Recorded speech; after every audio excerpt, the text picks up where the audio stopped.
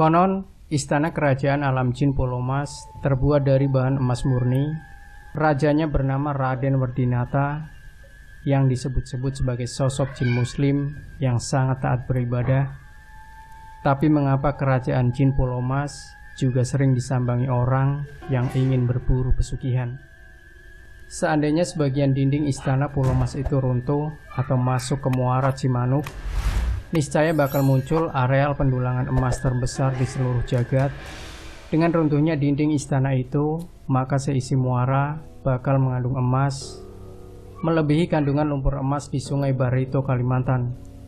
Bahkan, konon akan lebih besar dari hasil penambangan di Papua. Sayangnya dinding istana yang terbuat dari emas itu sangat kokoh dan istana itu pun adanya hanya di alam gaib Pulau Mas. Di alam manusia, Pulau Mas hanya berupa rawa-rawa yang bersisian dengan muara Laut Jawa. Persisnya berada di kampung Pulau Mas, Desa Centigi Sawah, Kecamatan Centigi, Kabupaten Indramayu, Jawa Barat. Menurut rawangan gaib, di atas rawa-rawa seluas puluhan hektar itu berdiri komplek istana yang terbuat dari emas murni Sampai saat ini, kerajaan dengan keraton sangat megah itu dipimpin oleh sesosok Raja Jin sangat sakti bergelar Raden Werdinata dengan Mahapatihnya yang juga cukup tersohor, yakni Mahapatih Jongkara.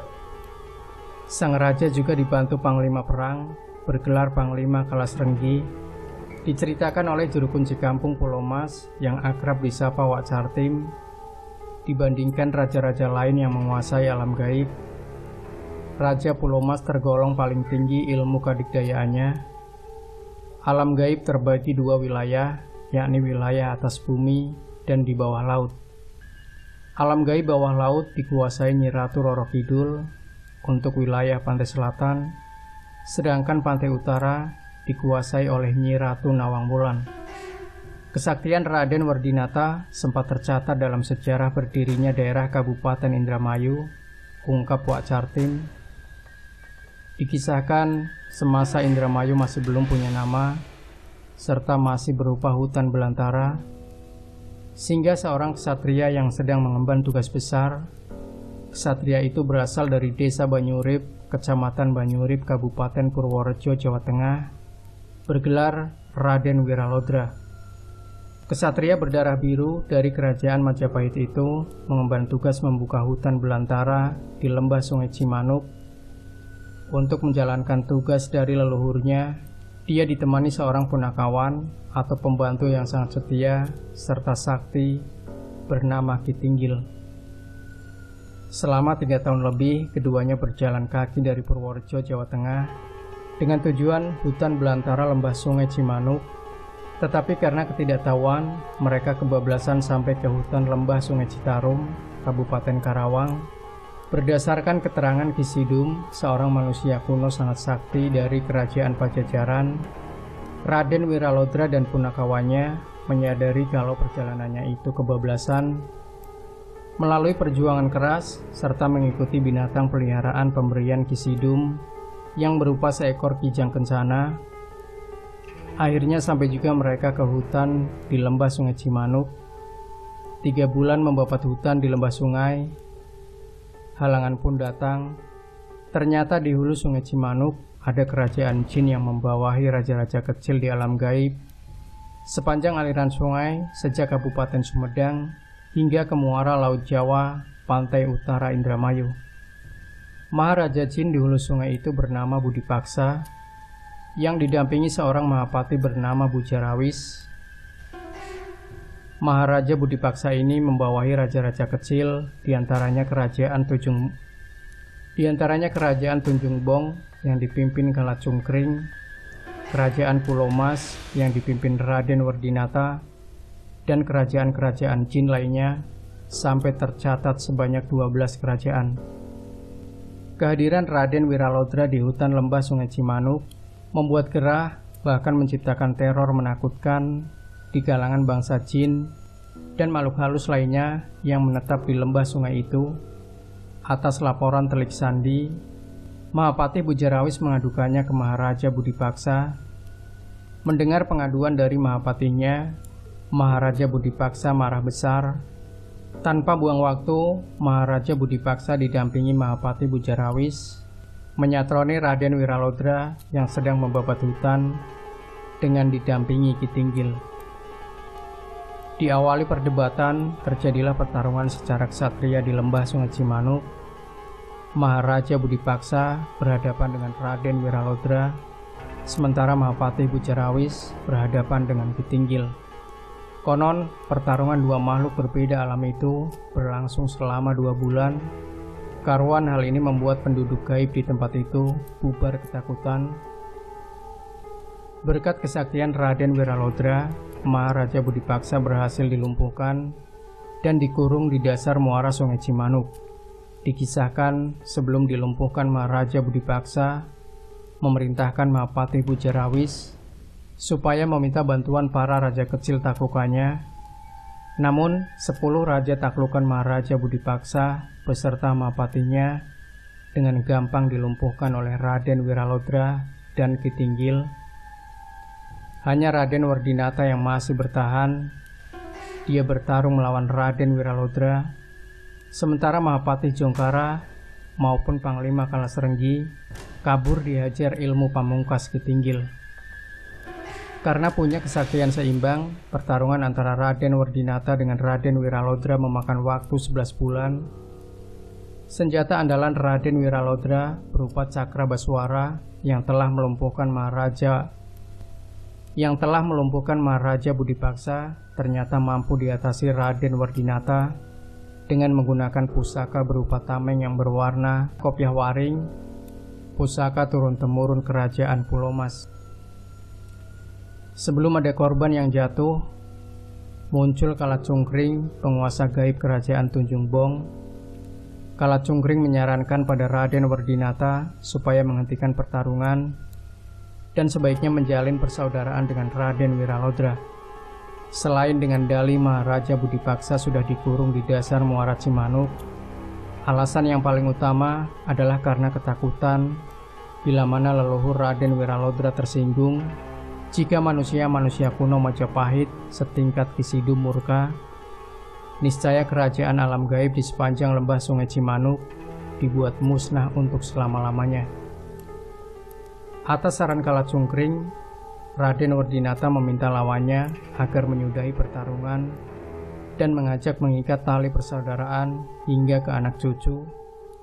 Sebagai pengikat persaudaraan, Raden Wardinata menyerahkan putri kesayangannya bergelar Putri Inten untuk diperistri Raden Wiralodra.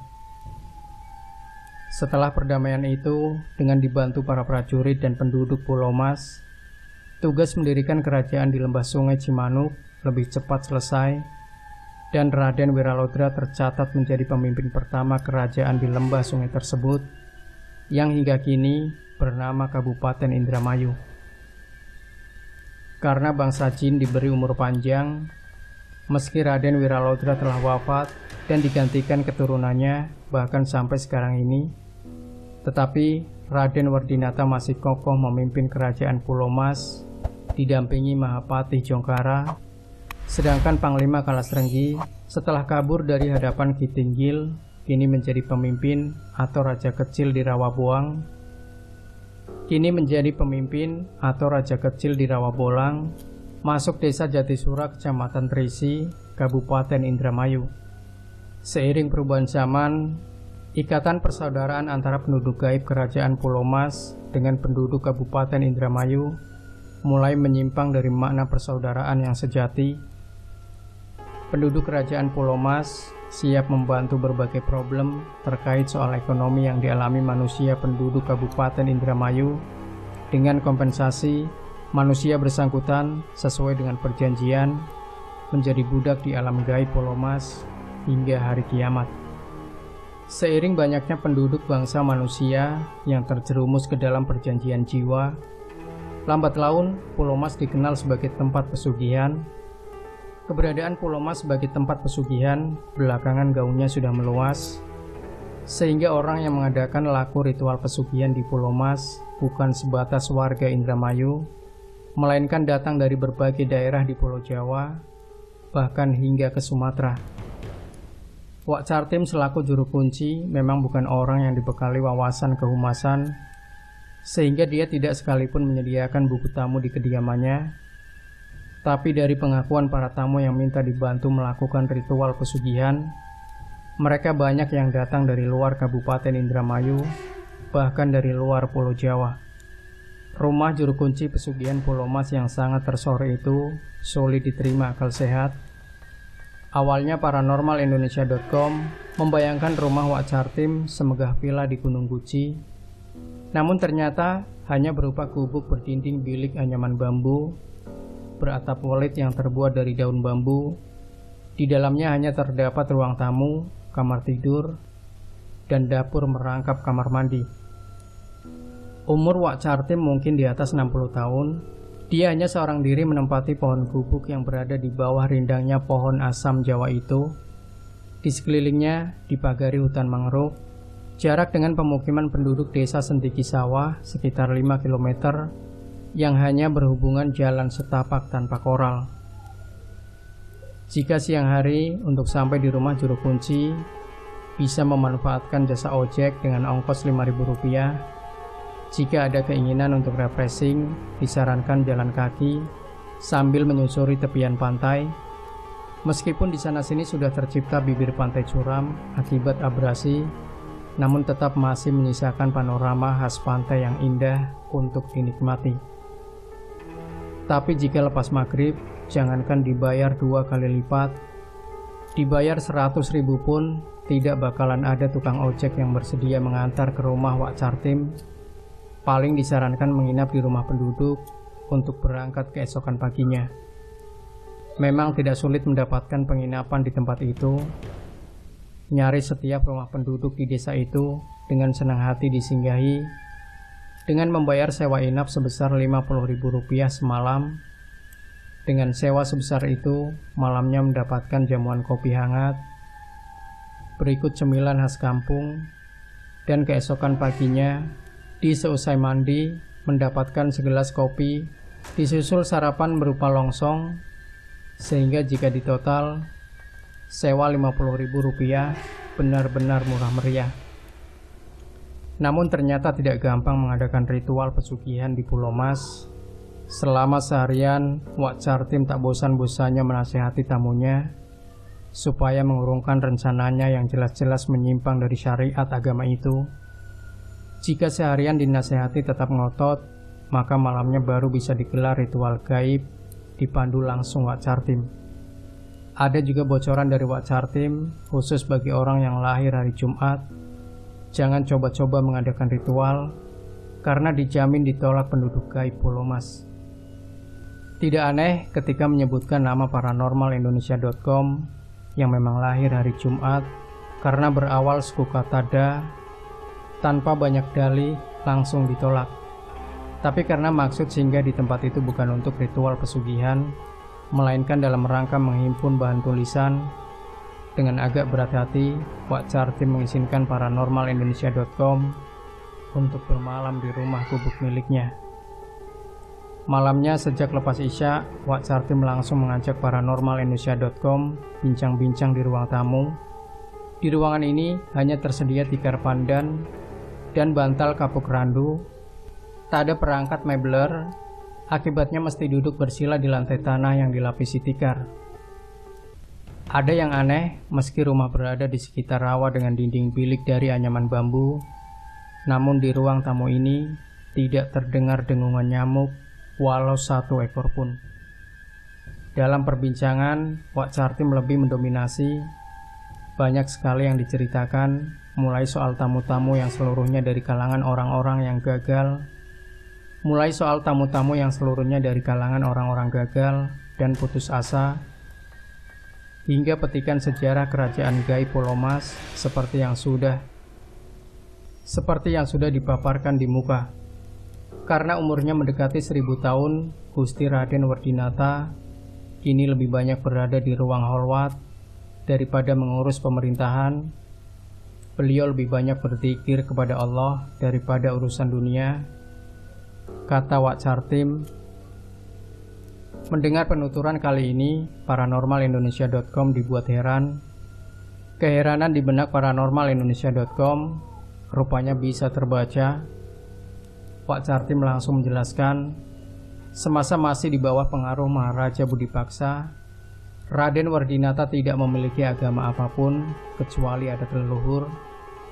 Tapi sejak resmi mengikat persaudaraan dengan Raden Wiralodra, dia menyatakan diri masuk ajaran agama Islam. Sebagai raja muslim yang taat, Raden Wardinata tidak pernah dan tidak akan menyesatkan manusia, apalagi dari keturunan Raden Wiralodra. Lalu siapa yang mengadakan ikatan perjanjian pesugihan dengan bangsa manusia? Sama halnya bangsa manusia, bangsa jin di Pulau Mas pun ada yang menganut Islam dan agama lainnya. Juga ada yang melestarikan adat leluhur, ada penduduk yang berbudi luhur, ada juga yang berperangai jahat. Nah, penduduk Pulau Mas yang berperangai jahat inilah yang selama ini menangani proses perjanjian pesugihan dengan manusia. Orai Wak Cartim. Logikanya, mustahil seorang raja mau melayani urusan manusia dari kalangan rakyat biasa. Selain tidak pernah menyesatkan, Raden Wardinata juga konsisten dengan ikatan persaudaraan dengan Raden Wiralodra. Meski saudaranya itu sudah wafat sejak ratusan tahun silam. Buktinya, dalam zikirnya suatu malam, Raden Wardinata Raden Wardinata mendapat petunjuk bahwa daerah Indramayu bakal diterjang ombak pemusnah atau tsunami. Tanpa banyak pertimbangan, dia menyudahi dikirnya lalu mendatangi penguasa pantai utara. Di hadapan Nyi Ratu Nawang Wulan, Raden Wardinata meminta supaya ombak pemusnah itu jangan sampai menerjang penduduk Indramayu. Jika ombak pemusnah itu sampai menerjang, dia sepakat untuk bertarung Meskipun sadar ilmu Nyi Ratu Nawang jauh lebih tinggi, demi ikatan persaudaraan dengan Raden Wiralodra, dia mempertaruhkan nyawanya mati di tangan Nyi Ratu Nawang Untungnya, Nyi Ratu Nawang bersedia memenuhi permintaannya, sehingga ombak pemusnah itu urung menerjang Indramayu dan berputar menerjang daerah Pangandaran, Kabupaten Ciamis. Ungkap Wak Cartim menutup kisahnya. Menjelang tengah malam, Wak Caltim pamit untuk mengadakan ritual pribadi di kamar tidurnya. Sementara paranormal Indonesia.com disuruh tetap di ruang tamu dengan ditemani bantal kumal. Seiring merembasnya bau buhur jin dari sela-sela dinding bilik kamar tidur, alam mimpi pun tersingkap dan paranormal Indonesia.com tidur di ruang tamu yang lumayan sempit itu.